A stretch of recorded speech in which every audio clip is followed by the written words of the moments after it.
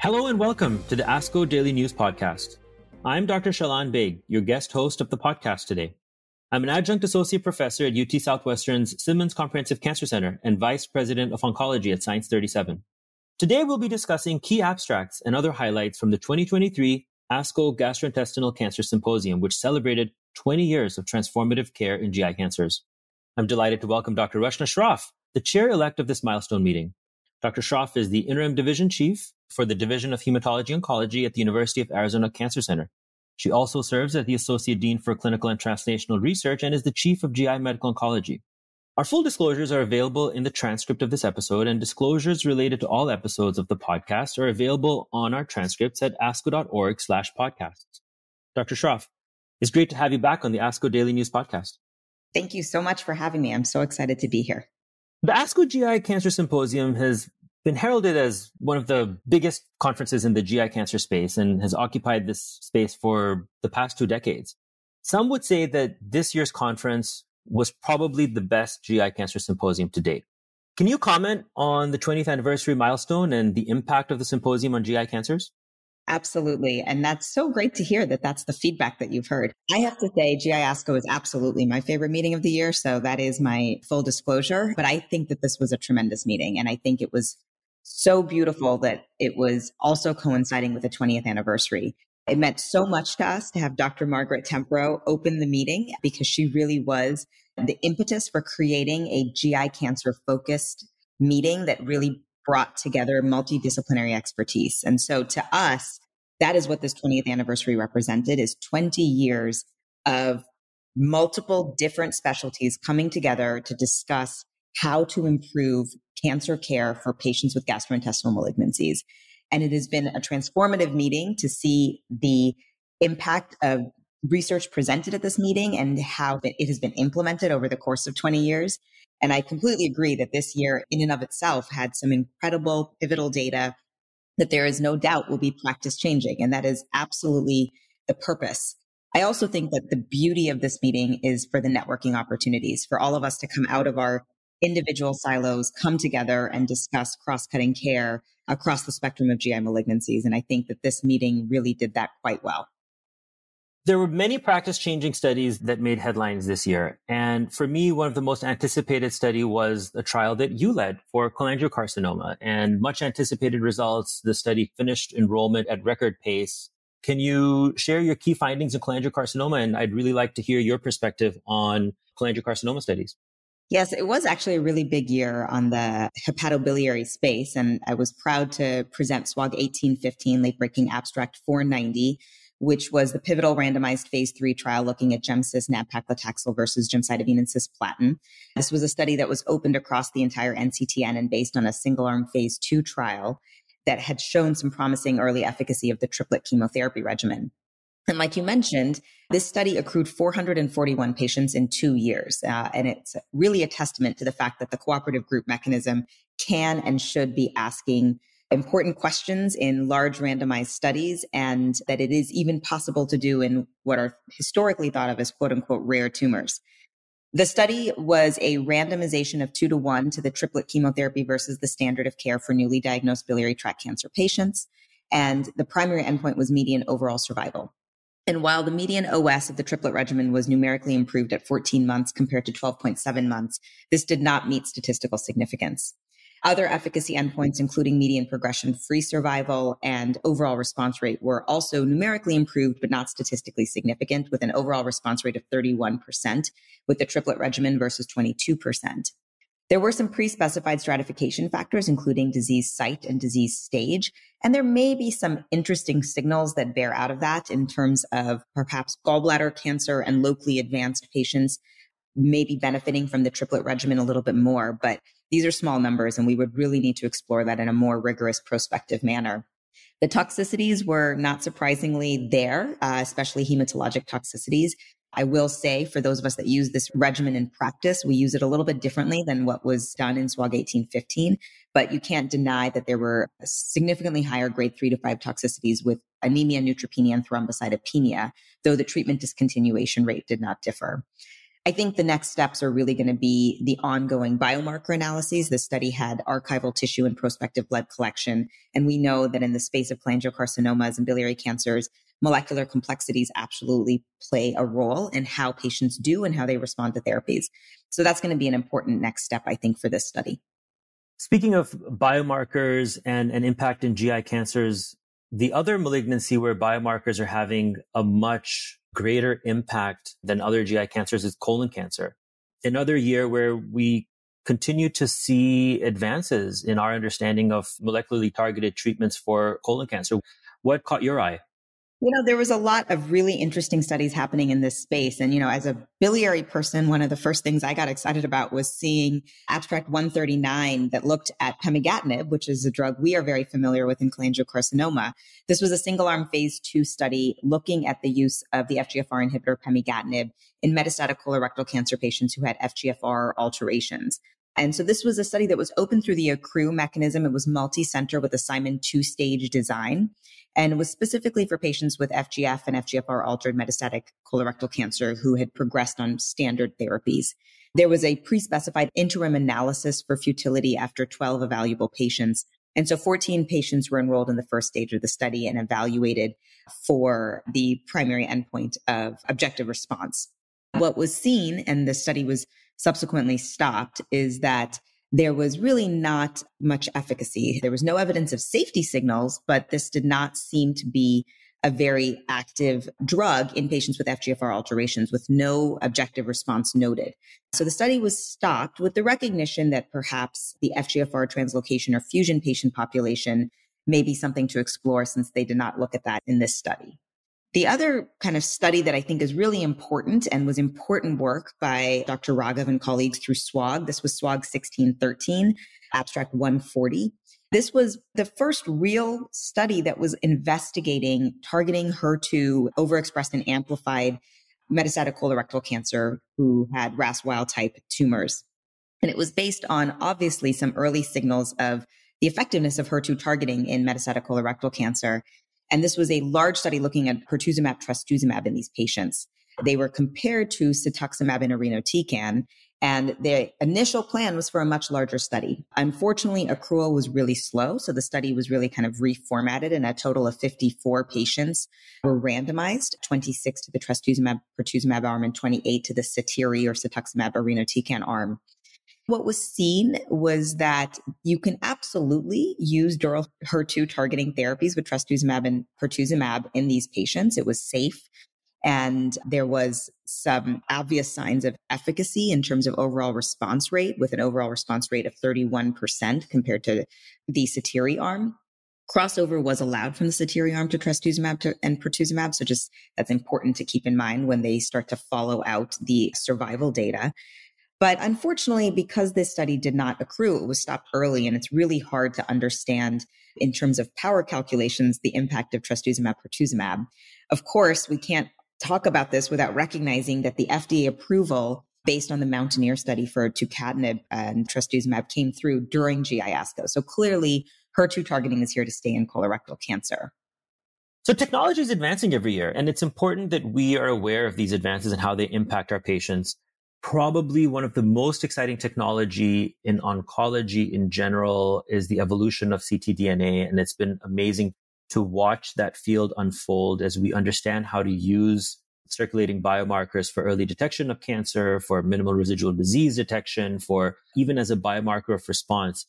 What caught your eye when it comes to the use of ctDNA in GI cancers? And how do you see this space develop in the next couple of years.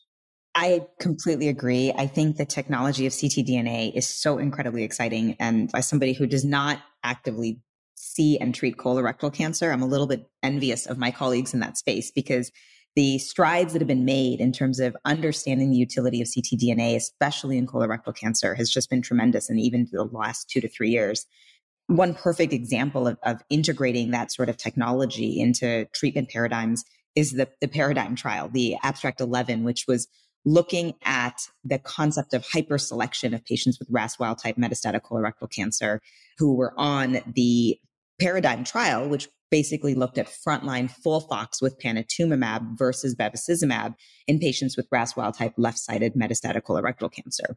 So, you know, the initial data from Paradigm had demonstrated a longer median overall survival, 37.9 months versus 34.3 months. But very smartly, the investigators had also collected baseline plasma ctDNA in the biomarker component of this study and uh, used a, a custom panel that looked at gene alterations for hyperselection. And that included KRAS, NRAS, PTEN, and extracellular domain EGFR mutations, HER2 and MET amplifications, as well as some fusions like ALK, RET, and NTRK.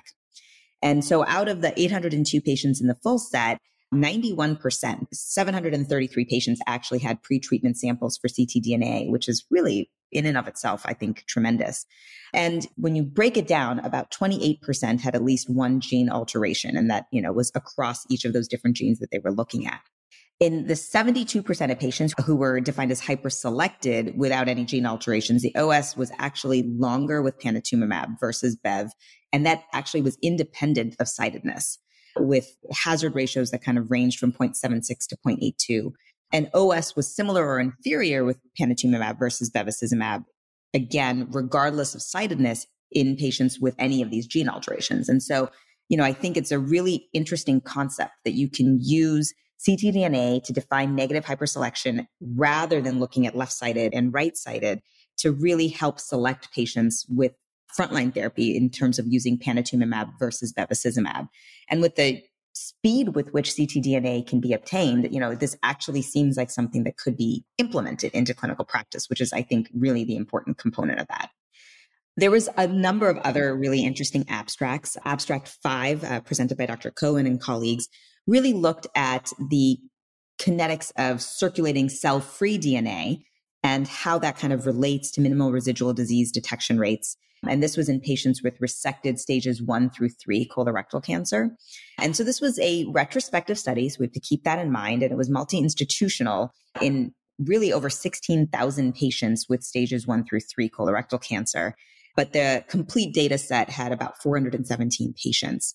And basically, the patient's circulating cell free DNA levels, the total cfDNA was compared to the ctDNA MRD positivity rates, and they looked at very specific time points after surgery.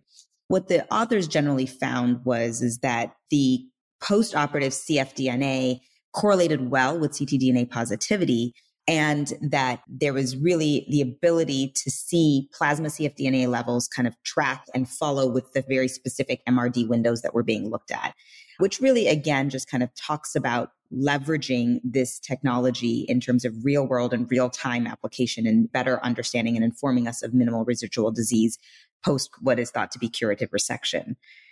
The last one that I thought was really interesting in relation to ctDNA was actually looking at anal cancer and following ctDNA in patients who were treated with definitive chemoradiation.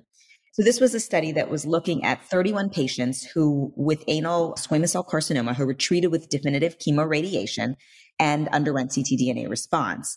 The majority of these patients had stage three disease, and the majority of them received the standard 5FU mitomycin with radiation.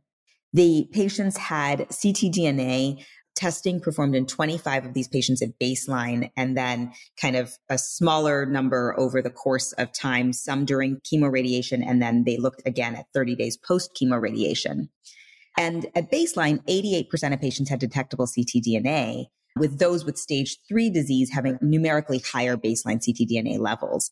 And basically, what they found was that over the course of treatment, ctDNA levels decreased among the patients with detectable ctDNA, and then ctDNA that tested during chemoradiation showed a drop and decline and or going into molecular remission at a time point in which it was subsequently confirmed that they had a clinical complete response. So the suggestion here is that the time to molecular ctDNA remission was significantly shorter than really being able to see that clinical complete response, which suggests that using surveillance ctDNA monitoring could be an earlier response assessment for patients with anal squamous cell carcinoma who are undergoing definitive therapy. Now, obviously, this needs to be confirmed in a larger manner, but again, really suggests that we could be understanding how we're doing with treatment in more of a real time fashion, which I just think is incredible for those of us who are making sure that we are doing and taking the right approaches for these patients. One of the major transformative announcements that took place only a couple of months before the GI Cancer Symposium was the announcement of uh, ChatGPT, and we heard a lot of discussion on how it can be used for improving cancer care, for improving drug development, and in general, artificial intelligence and machine learning. We've been hearing these buzzwords for such a long time to the point that a lot of people are probably just filtering it out. And then this tool comes up and it makes it real. And we're seeing different people apply these technologies in different ways. But there is tremendous potential on how this technology can improve clinical trials, drug development, early diagnosis, and and luckily, we had already secured a keynote speaker, Dr. Matthew Lungren from Nuance Communications, and, and he was invited to talk about artificial intelligence, machine learning, and how it applies to cancer care. I'm really curious to hear what your highlights were from his address and how you see this impacting your day to day or just the ecosystem which we're all part of. Yeah, I will say that his keynote was really one of the highlights of the entire meeting for me. And that is coming from somebody who doesn't really, I know who I'm speaking to, but somebody who does not truly understand the way AI is moving. And, and so I was joking with him that it was like AI 101. And I really, really appreciated the way he was able to kind of speak to a crowd that he doesn't normally speak to and help us really understand the way in which artificial intelligence can be integrated into healthcare and, and specifically oncology. To me, I think what was the most salient takeaways on his address was really about how this is just a rapidly evolving field and we need to be a little bit ahead of the eight ball in terms of thinking how we can smartly leverage artificial intelligence to like you mentioned improve our clinical research efforts. How can we improve access? How can we improve fully integrating ai into our emr so that we can really leverage that technology and ensure that we are capturing every potential patient for a clinical trial and and be smarter about how we're even approaching things. I mean, I loved the, you know, him talking about the prior auths and and you know that sort of thing and the ways in which we can decrease the burden on healthcare providers and really let us focus on the areas that we need to focus on. The one thing that I thought was a really important point though and I and you know I think a number of people asked him was about how using this technology has the potential to create more gaps and disparities and how can we be smart to ensure that we don't broaden those gaps? And i think that is a really important point that we all need to think about because we know that there especially when we think through clinical trials there's already underrepresentation of certain populations and certain geographic regions and so I think that was a really important takeaway for me is, is how can we make sure that we work and partner with those who are creating these technologies to ensure that we, we aren't taking two steps forward and four steps backward. It really calls into question how we define productivity and what our value in the entire delivery system really is. And I think from people who are in middle school or high school to people who are in college and even folks who are on the field, as you and I are, it's forcing us to rethink what we bring to the table in, in a way that we've never been challenged to ask that question ever before. Absolutely. So thank you very much, Dr. Shroff. This was wonderful. Thank you for sharing your insights with us today. And uh, we thank you and Dr. George Chang, the chair of the ASCO GI Cancer Symposium, and everyone who worked so hard to develop a robust program this year. Thank you. It was so wonderful to be able to speak about it. And thank you to all of the attendees for making it such a memorable meeting. And thank you to all our listeners for your time today. You'll find links to the abstracts discussed today on the transcript of this episode. Finally, if you value the insights that you hear on the ASCO Daily News podcast, please, please take a moment to rate, review, and subscribe wherever you get your podcasts. The purpose of this podcast is to educate and to inform. This is not a substitute for professional medical care and is not intended for use in the diagnosis or treatment of individual conditions. Guests on this podcast express their own opinions, experience, and conclusions. Guest statements on the podcast do not express the opinions of ASCO. The mention of any product, service, organization, activity, or therapy should not be construed as an ASCO endorsement.